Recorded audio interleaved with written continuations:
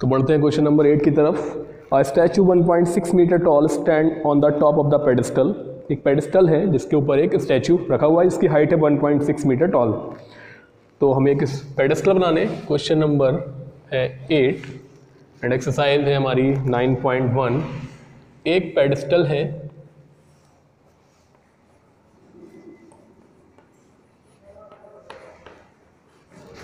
और एक पेडिस्टल के ऊपर एक स्टैचू रखा हुआ है।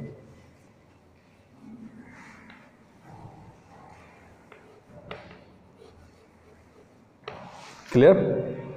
एक पेडिस्टल है और पेडिस्टल के ऊपर एक स्टैचू रखा हुआ है और ये पेडिस्टल की हाइट है, वो 1.6 मीटर टॉल है। Clear? From a point on the ground अब यहाँ पर ग्राउंड है और ग्राउंड पर एक पॉइंट है।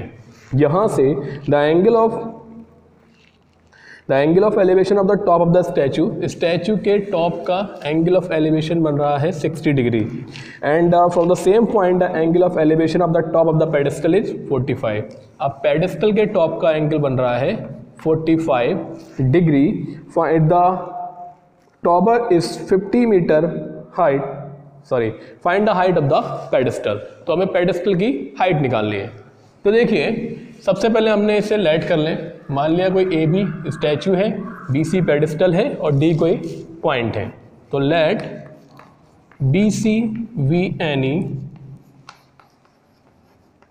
pedestal and A B be a 1.6 मीटर tall statue clear? The angle of elevation from d angle of elevation from d to the top of the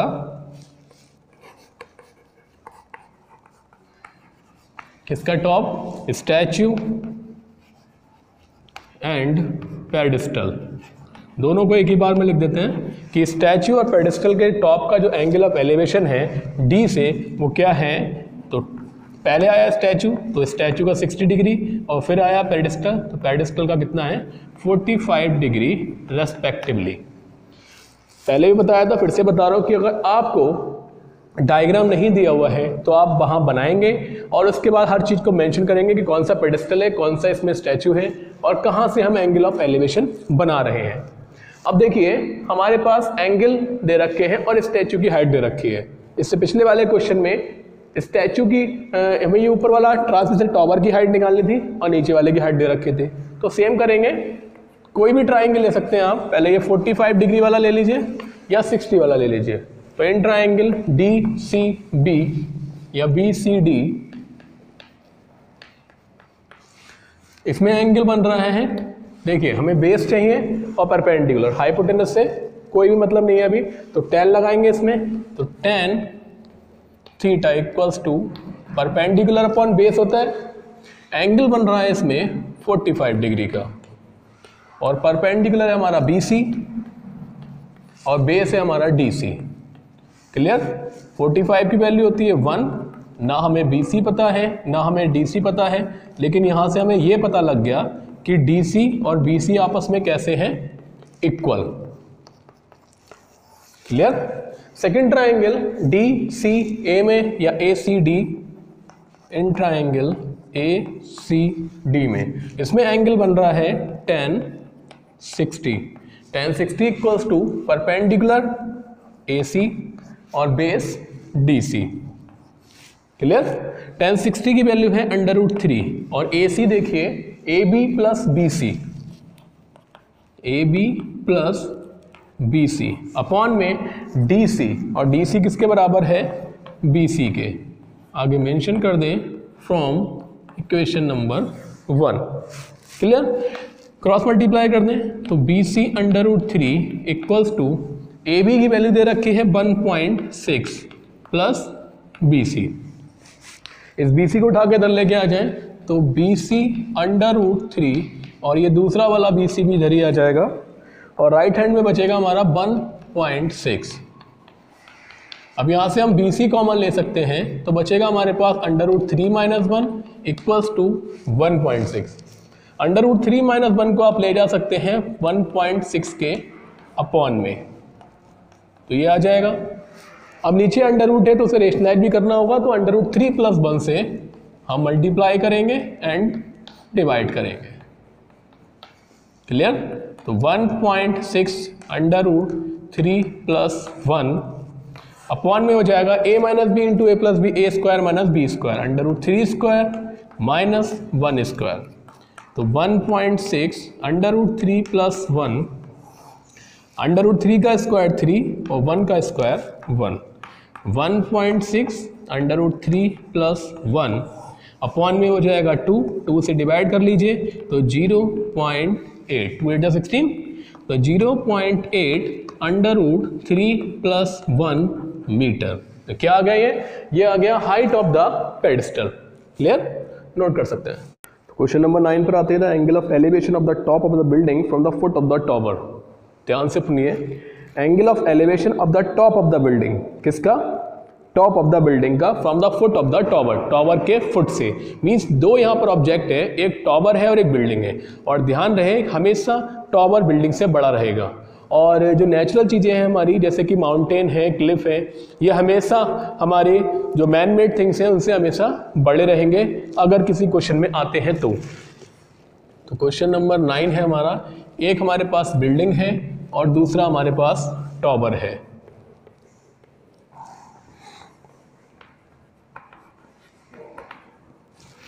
तो angle of elevation of the top of the building for the foot of the tower tower के foot से building के top का angle 30 degree बन रहा है. Means ये जो एंगल बन रहा है, वो 30 डिग्री है. And the angle of elevation फिर से एंगल ऑफ़ एलिवेशन मीन्स नीचे से ऊपर की ओर देखा जा रहा है. Of the top of the tower tower के टॉप को from the foot of the building is 60 building के फुट से वो आ रहा है 60 degree if the tower is 50 metre height अब टॉवर दे रखा है 50 मीटर हाइट तो आपको इसमें बताना है find the height of the building building की हाइट निकालनी है। तो यहाँ पर हमारे पास ए बी इसे ले लीजिए, इसे पी क्यू तो लेट ए बी क्या है? Be a building and P Q be a 50 metre tall tower. Clear? Angle of elevation.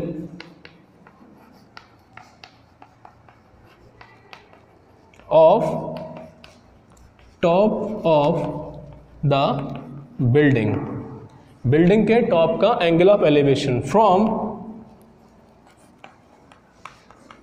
foot of the tower is देखिए फुट ऑफ़ द टॉवर से building के टॉप का angle of elevation बन रहा है 30 degree clear और उसके बाद angle of elevation of top of the tower तो इसे आप नोट कर लीजिए डेटा लगा दे रहा हूँ मैं from foot of the building और बिल्डिंग के फुट से टॉवर के टॉप का जो एंगल बन रहा है, वो कितना है?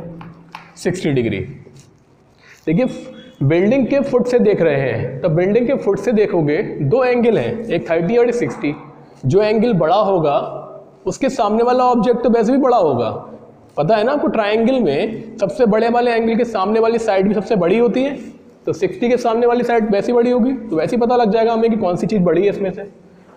तो देखिए ए बी क्यू और पी क्यू बी दो ट्राइंगल बन रहे हैं। हमें इस ट्राइंगल में कुछ नहीं पता है एंगल के अलावा। लेकिन पी क्यू बी में पता है हमें हाइट और एंगल तो यहाँ से बेस निकाल लें तो in triangle P Q B में। परपेंडिकुलर पता है बेस निकालना है तो लगेगा tan theta equals to P upon B और थीटा की वैल्यू है 60 और पी है हमारे पास 50 और बेस का नाम है हमारे पास बी क्यू और इसकी वैल्यू हो जाएगी under root three upon B Q B Q को अंडर रूट थ्री के पास पहुंचाइए और फिर अंडर रूट थ्री को बी क्यू की जगह पहुंचाइए। कर सकते हैं ना हम ऐसा? क्रॉस मल्टीप्लाई करके। तो इसके बाद हमारे पास ये बेस पता लग गया। अब in triangle A B Q इसमें एंगल बन रहा है टेन थर्टी देखिए, हमें इसमें भी परपेंडिकुलर और बेस चाहिए। तो टेन ही लगाएँगे। तो tan thirty equals to A B upon B Q A B upon B Q tan thirty है one upon under root three और ए बी है हमारे पास। हमें फाइंड करना है। और बी क्यू है fifty upon under root three तो ये थोड़ा सा ध्यान रखिए, इसके अपॉन में है ये। क्लियर अब ये नंबर इधर और ये नंबर इधर। तो ए बी इक्वल्स टू हो जाएगा. A B under root three ये इधर पहुंचेगा और ये इधर पहुंचेगा. Equals to fifty upon under root three इसके बाद जो ए बी के साथ में अंडर रूट थ्री है, इसे भी आप पहुँचा दीजिए अपॉन में. तो ये हो जाएगा फिफ्टी अपॉन थ्री और इसे मिक्स नंबर में चेंज कर दें तो थ्री से डिवाइड करेंगे. थ्री बन जा ट्वेंटी थ्री सिक्स जा eighteen sixteen whole two upon three metre तो ये आ जाएगी height of the building clear note कर सकते हैं. क्वेश्चन नंबर टेन पर आते हैं. Two pole of equal height are standing opposite each other on either side of the road road के दोनों साइड में दो पोल हैं इक्वल हाइट के हैं. Angle of elevation on the top of the find a point between them उन दोनों के बीच में एक पॉइंट हमें लेना है रोड पर. जहाँ से angle of elevation of the top of the pole 60 and 30 degree है. Find the height of the poles and distance find करनी है. दोनों पोल से कितनी कितनी दूरी पर है. लेट कर लिया हमारे पास दो पोल हैं इक्वल हाइट के, एक को हमने ले लिया ए बी और दूसरा ले लिया पी क्यू क्लियर और इन दोनों के बीच में जो रोड है, वो 80 मीटर की 80 मीटर वाइड है। उन दोनों के बीच में एक पॉइंट है एम जहाँ से उनके पोल के टॉप का angle of elevation 60 and 30 degree है। देखिए, अगर एंगल बराबर होता तो पॉइंट बिल्कुल बीच में होता। अब पॉइंट है एंगल आ रहा है एक का 60 एक का 30 मतलब 60 वाला क्या होगा? पोल के पास में होगा और 30 वाला दूर होगा। तो लैड कर लिया हमने, यहाँ पर एक पॉइंट है एम जहाँ से इसका एंगल ऑफ़ एलिवेशन इसके ज़्यादा पास में है तो इसका हो गया 60 डिग्री और एक दूसरे वाले से ज़्यादा दूर है तो इसका हो जाएगा 30 डिग्री। क्लियर तो let A B and P Q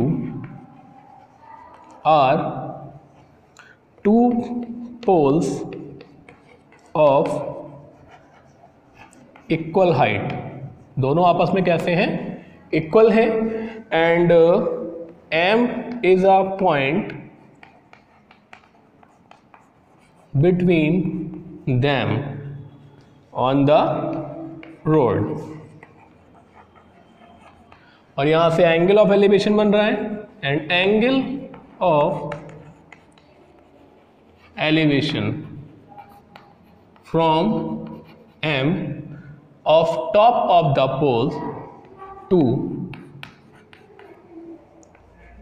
top of poles are angles of elevation from M to the top of the poles are 60 degree and 30 degree respectively clear यहाँ से एंगल पहले वाले का 60 दूसरे वाले का 30 तो यहाँ से हम इसे लेट कर लें इतनी डिस्टेंस मान लिया हमने ये x है, और यहाँ से यहाँ तक कितनी हो जाएगी उसके बाद?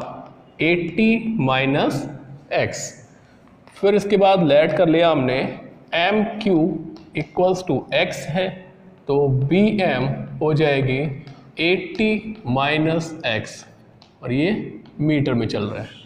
क्लियर तो दो ट्राइंगल हमारे पास परपेंडिकुलर और बेस में ही लेना है हाइपोटेनस से कोई मतलब नहीं है टेन लगाएँगे फिर से।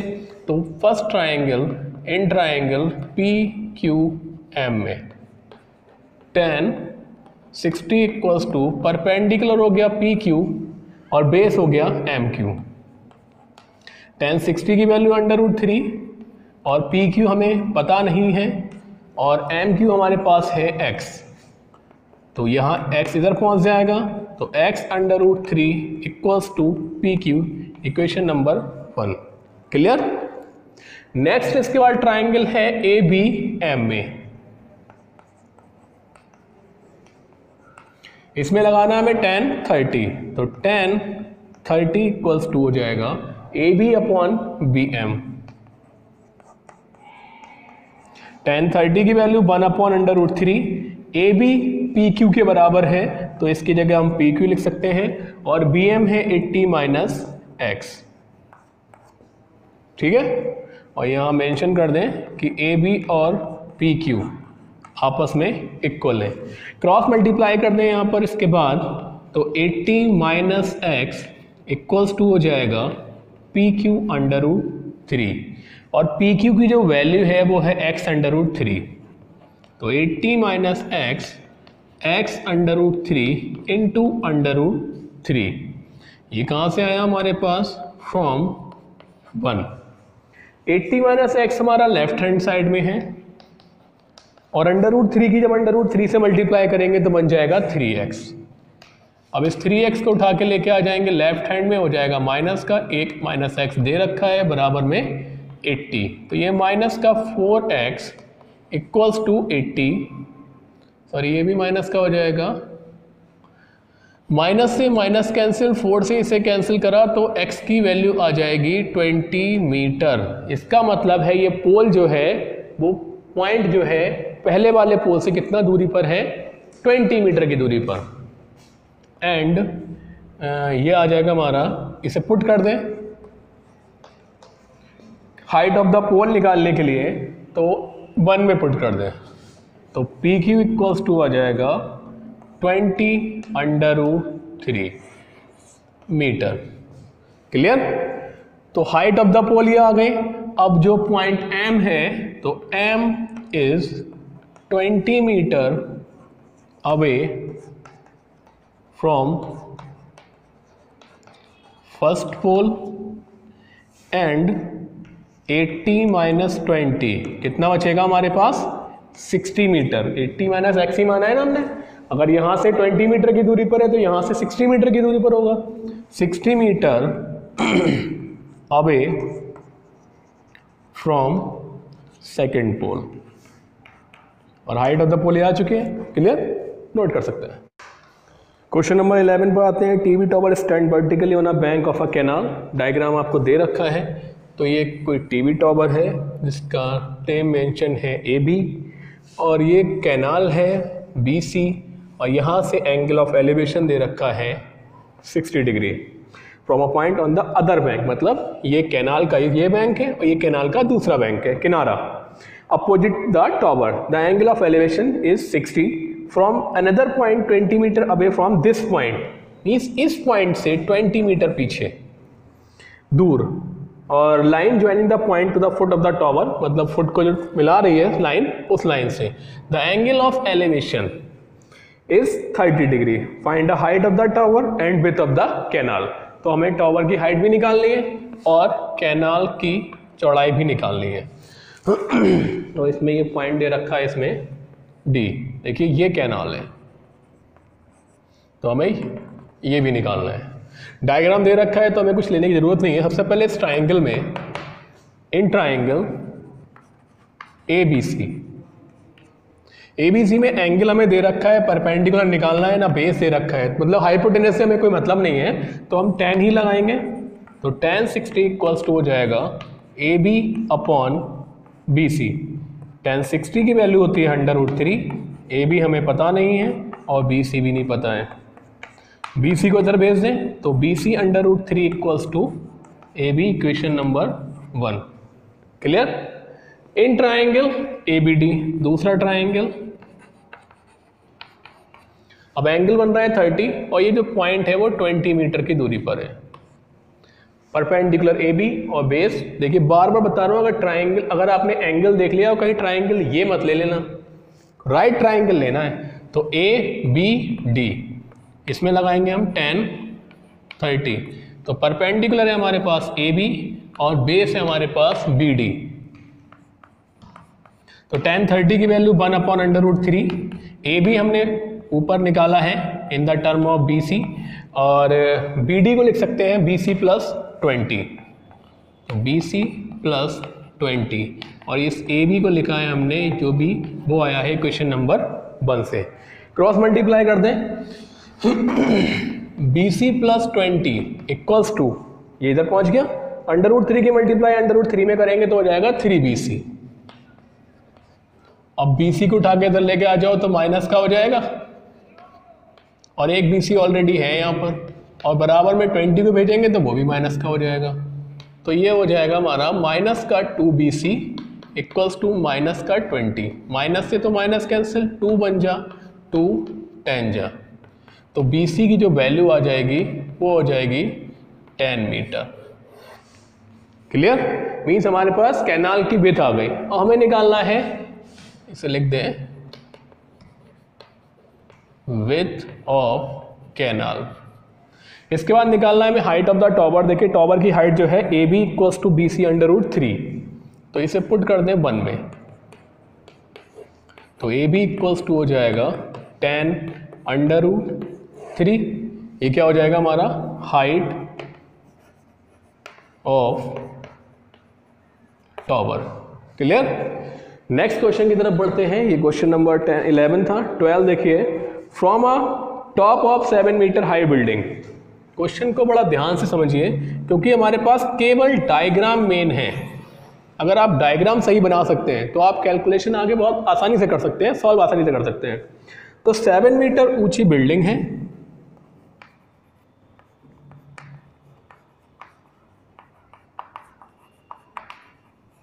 यहाँ इसके टॉप से।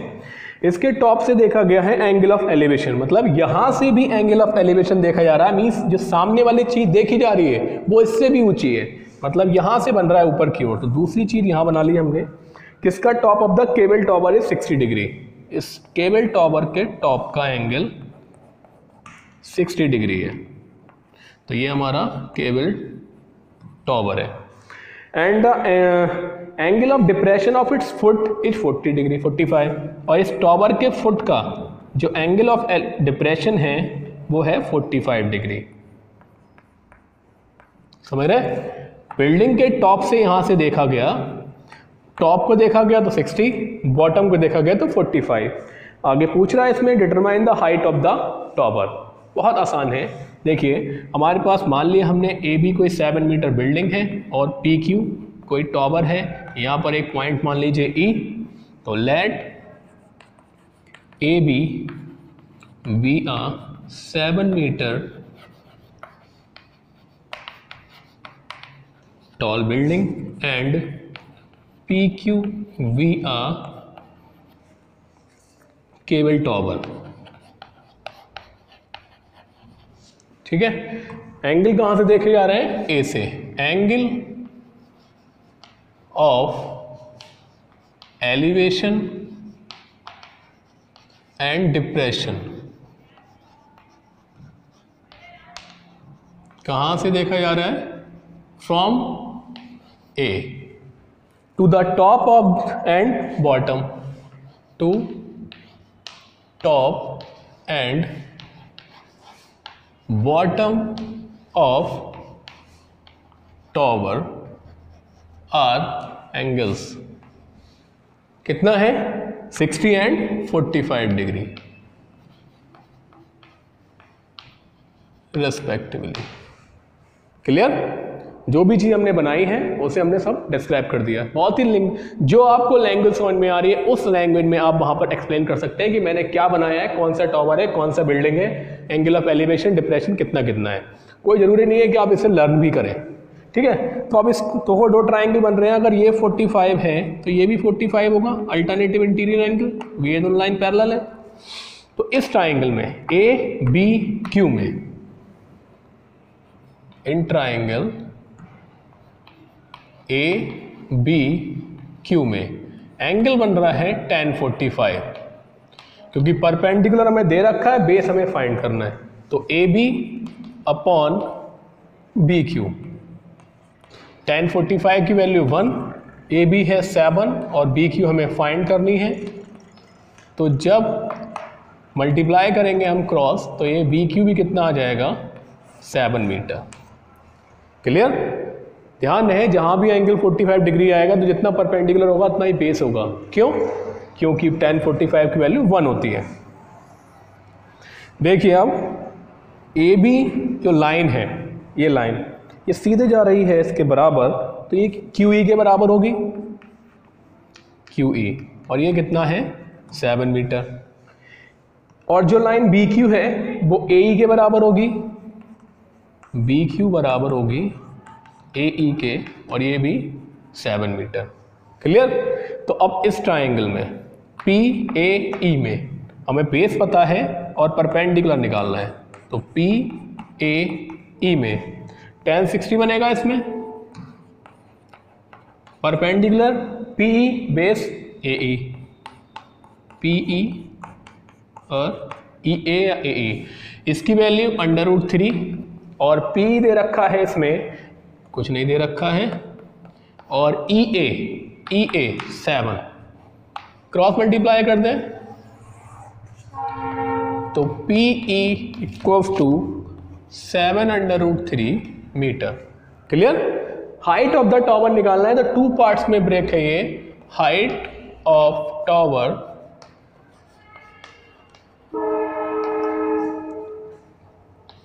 P E plus E Q P E की वैल्यू है seven sorry P E P E हमने अभी फाइंड किया है सेवन अंडर रूट थ्री और ई e क्यू कितना है? सेवन तो seven under root three plus seven seven common ले लें तो under root three plus one metre clear तो ये आ गया आपका height of the tower note कर सकते हैं. क्वेश्चन नंबर थर्टीन पर आते हैं. And as observe from the top five metre high lighthouse from the sea level sea level से 75 मीटर ऊँचा एक लाइट हाउस है।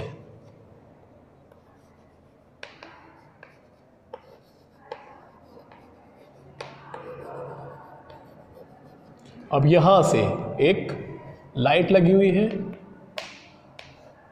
ठीक है? द एंगल ऑफ़ डिप्रेशन ऊपर से नीचे की ओर देखा जा रहा है। टू शिप आर 30 एंड 45 एक का 30 एक का 45 मतलब एक दूर होगा और एक थोड़ा पास में है। One ship is exactly behind the other on the same side देखिए, ध्यान रखिए, अगर आइदर साइड आता है तो आपको एक इधर और एक इधर बनाना है। और सेम साइड लिखा हुआ है तो आपको सेम साइड ही बनाना है। Find the distance between the two ship हमें शिप के बीच की डिस्टेंस निकालनी है। तो एक शिप थोड़ा पास में है और एक शिप थोड़ा सा दूर है। मान लिया ये हमारा ए लाइट हाउस है बी इसका बेस है सी पर शिप है डी पर भी शिप है। एक से बन रहा है 45 डिग्री का एंगल और एक से बन रहा है 30 डिग्री का एंगल क्लियर जी। तो देखिए, और दोनों शिप एक दूसरे के बिल्कुल पीछे हमें सी डी फाइंड करना है। तो लेट कर लिया हमने। Let A B be a 75 metre high lighthouse.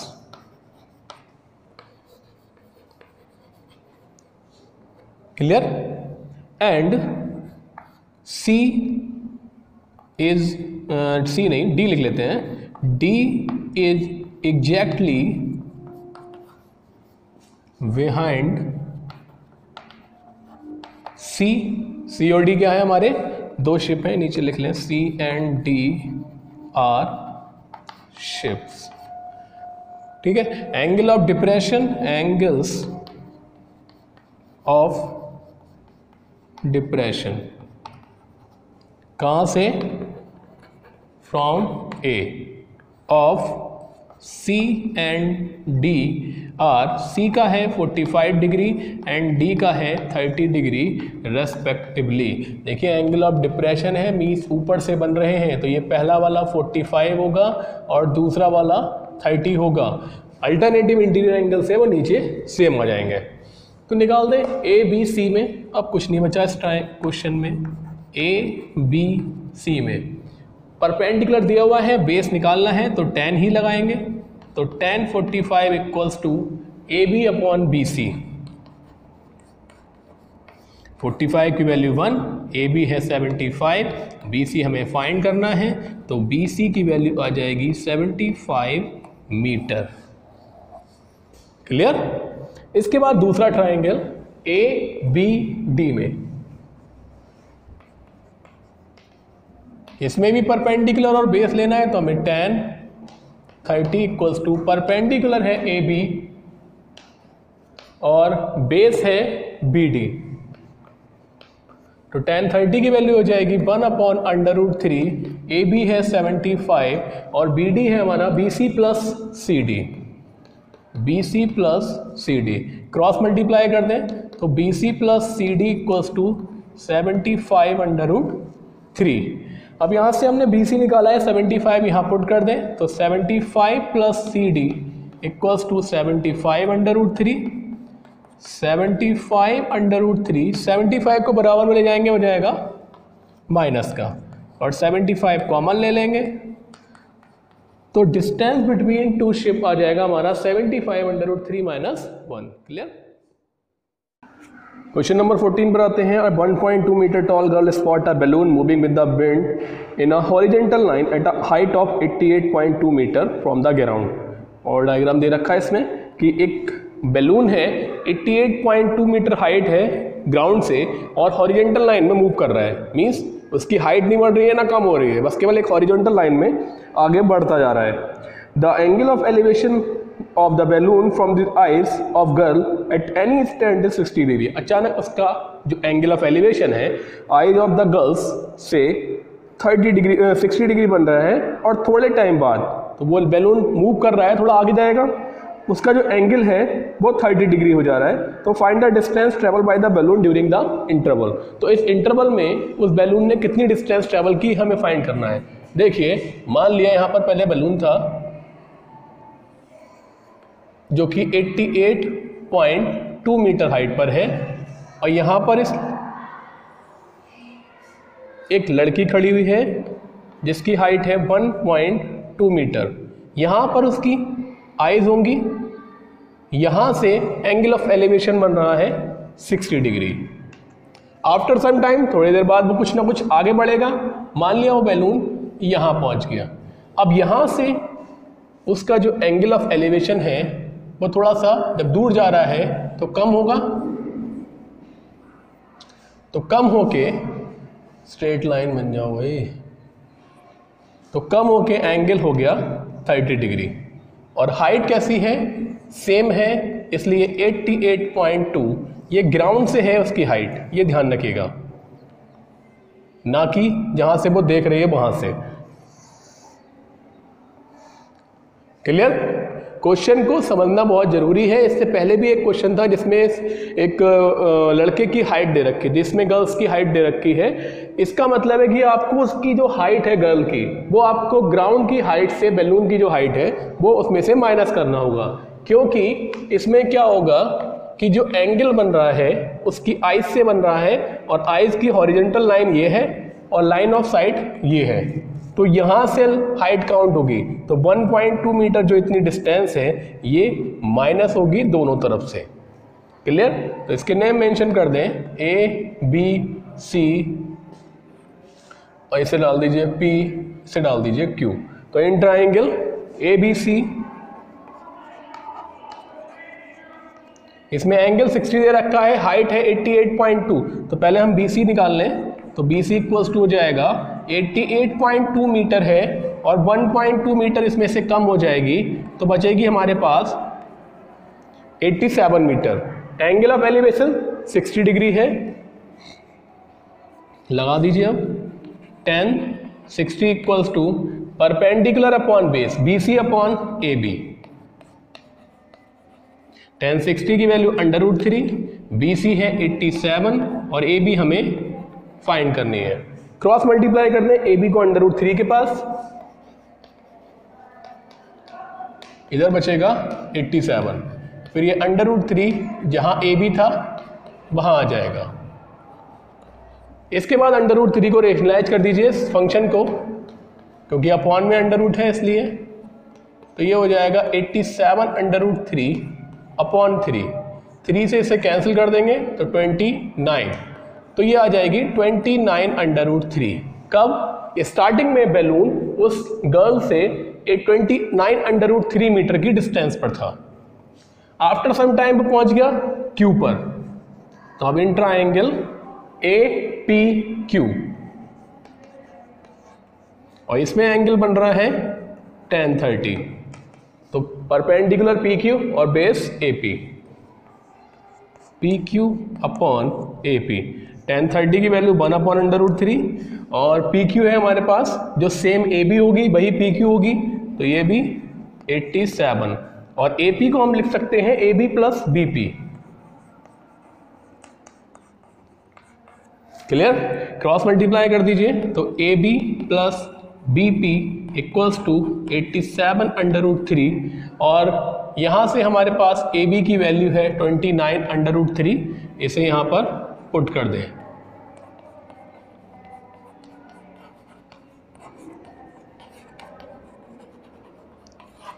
Clear इसके बाद देखिए, ये जो 29 नाइन अंडर रूट थ्री है, इसे ले जाइए। बराबर में हो जाएगा माइनस का तो बी पी इक्वल्स टू हो जाएगा 87 seven under root three minus का 29 nine under root three minus कर दीजिए 17 नाइन में से 19 में से नाइन गया एट बचा, और सेवन में से टू गया फाइव बचा। तो 58 अंडर रूट थ्री ये आ जाएगी डिस्टेंस क्वेश्चन नंबर 15 पर आते हैं the state highway leads to foot of the tower एक हाईवे है जो कि टॉवर की तरफ़ जा रहा है। टॉवर समझ रहे हो? एक बिल्डिंग कोई भी।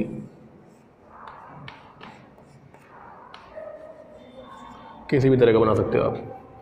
A man standing on the top of the tower एक आदमी यहाँ पर खड़ा हुआ है, और वो देख रहा है a man standing on the the tower observe a car at angle of depression 30 degree यहाँ पर एक कोई कार आ रही है?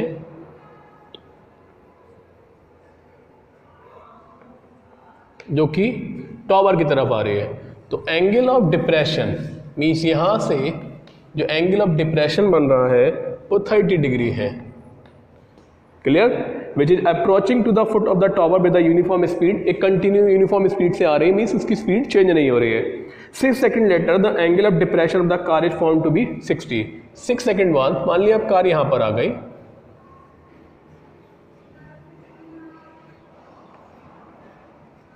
और ये भी इधर ही जा रही है। अब इसका एंगल ऑफ़ एलिवेशन 60 हो गया। तो find the time taken by the car to reach the foot of the tower from this point अब इस पॉइंट से वो कार कितनी देर में यहाँ तक पहुंचेगी? तो यहाँ से लेके यहाँ तक वो आई है सिक्स सेकेंड में। हमें ज़रूरत किसकी होती है? डिस्टेंस की। और यहाँ पर क्या चल रहा है? टाइम तो वो भी कुछ ना कुछ करना पड़ेगा उसका। तो ए भी कोई टॉवर है। पहले कार डी पर थी, फिर पहुँच गए सी पर। तो let A B be a tower angle of depression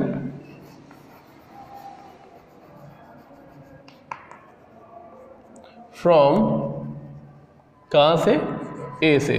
Of car increase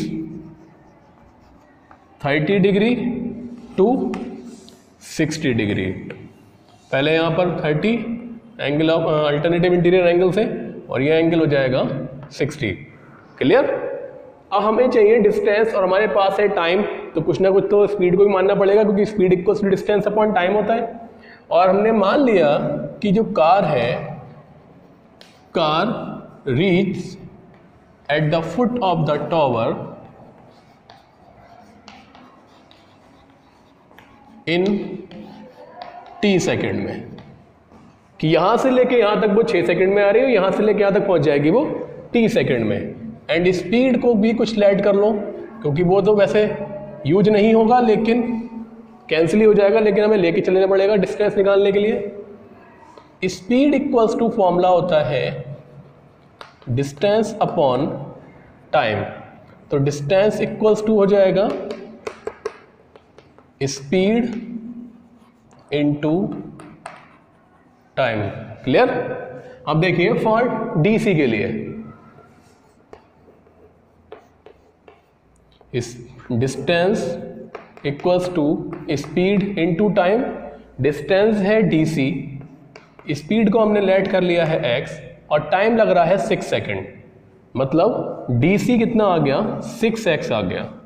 अब दूसरी डिस्टेंस है हमारी सी बी तो सी बी बराबर हो जाएगा स्पीड इसकी कितनी है? एक्स, और टाइम कितना लग रहा है? हमने ले लिया है टी।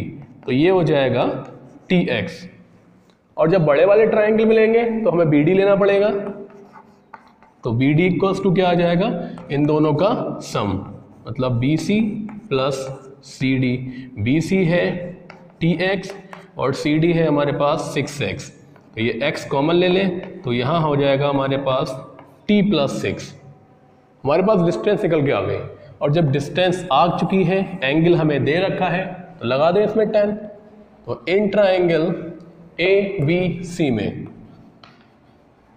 एंगल बन रहा है इसमें 60 तो tan sixty equals to perpendicular है ए बी और बेस है B C clear tan sixty की वैल्यू हो जाएगी अंडर रूट थ्री और ए बी हमें पता नहीं है और बी सी तो बी सी को हमने लेट किया है अभी टी एक्स तो ये टी एक्स चला गया इधर तो T X under root three equals to हो जाएगा A B equation number one इसके बाद second triangle A B D में।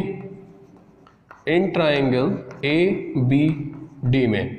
इसमें tan thirty equals to perpendicular तो हमारा वही रहेगा ए बी बेस हो जाएगा बी डी तो टेन थर्टी की वैल्यू है one upon under root three और ए बी की वैल्यू है T X under root three और बी डी है एक्स टी प्लस सिक्स। और ए बी की वैल्यू को हमने क्वेश्चन नंबर वन से यूज़ किया है। क्लियर? देखिए, एक्स एक्स कैंसिल हो गया। तो स्पीड हम कुछ भी ले सकते हैं, वो तो कैंसिल हो जाएगी क्योंकि उसका यूज़ भी नहीं है। मेन हमारा टाइम है। क्रॉस मल्टीप्लाई करते हैं तो टी प्लस सिक्स पहुँचा वन के पास। और अंडर रूट थ्री पहुंचेगा अंडर रूट थ्री के पास हो जाएगा थ्री और टी ऑलरेडी वहाँ पर दे रखा है। तो सिक्स इक्वल्स टू हो जाएगा थ्री टी और ये टी उधर जाके हो गया माइनस का। तो six equals to two T two बन जा टू थ्री जा। तो कितना आ जाएगा time three second means car को सी पॉइंट से फुट ऑफ़ द टावर तक पहुँचने में थ्री सेकेंड लगेगा। क्लियर नोट कर सकते हैं। Question number 16 in the angle of elevation of the top of a tower from two point at a distance of four metre and nine metre from the base of the tower tower के base से, कोई tower दे रखा है? और इसके base से 1.4 metre की डिस्टेंस पर है और 1.9 मीटर दोनों ही डिस्टेंस यहाँ से है।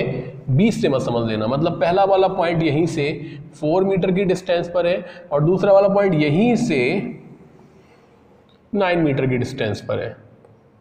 मींस ये कंप्लीट 9 है। और यहाँ से, यहाँ तक अगर हमने पहला पॉइंट पी लेट किया है तो वो 4 मीटर की डिस्टेंस पर है। कोई भी टॉवर है, उसे हमने मान लिया ए बी और in the same straight line तो सेम स्ट्रेट लाइन में है। With are complementary. Angle of elevation कैसे है? चार मीटर की दूरी पर और नौ मीटर की दूरी पर जो बन रहे हैं जिस पॉइंट से, वो दोनों आपस में कॉम्प्लीमेंट्री हैं। और प्रूव करना है कि हमें हाइट ऑफ़ द टॉवर कितनी है? सिक्स मीटर तो कॉम्प्लीमेंट्री एंगल कौन से होते हैं? इसे हम यहाँ से मिला दें पी से, और इसे मिला दें क्यू ए से। कॉम्प्लीमेंट्री एंगल कौन से होते हैं? ऐसे दो एंगल जिनका सम 90 डिग्री हो। तो हम इसमें से, दोनों में से किसी भी एंगल को कुछ भी लेट कर लें। अगर इससे थीटा लेट कर लिया है तो ये हो जाएगा हमारा 90 माइनस थीटा क्लियर तो लेट ए बी क्या है?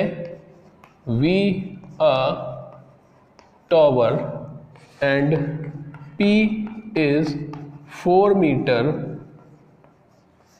away from foot of tower and q is 9 meter away from foot of the tower clear angle of elevation are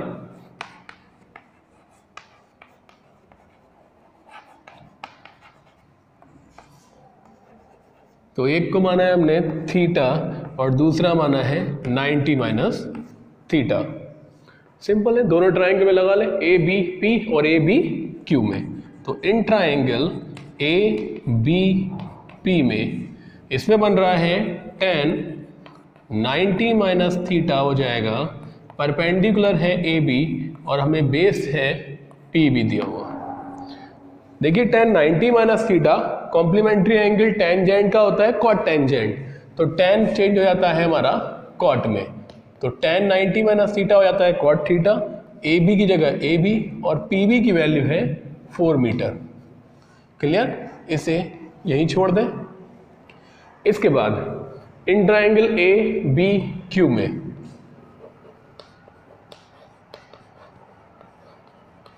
इसमें भी वही लगा दें। इसमें बन रहा है टेन थीटा परपेंडिकुलर हमें चाहिए और बेस हमें दे रखा है बी क्यू की वैल्यू तो बी क्यू लेंगे। तो टेन थीटा तो ऐसी रहा। ए बी भी ऐसी रहा।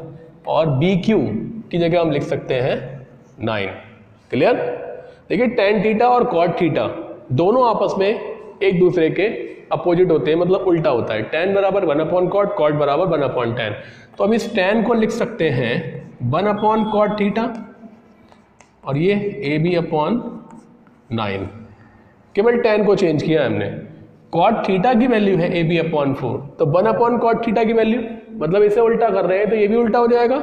तो ये हो जाएगा four upon A B equals to A B upon nine. समझ में आया ये बात? बहुत ही सिंपल क्वेश्चन है, बहुत बेसिक सी चीज़ में चेंज करनी है।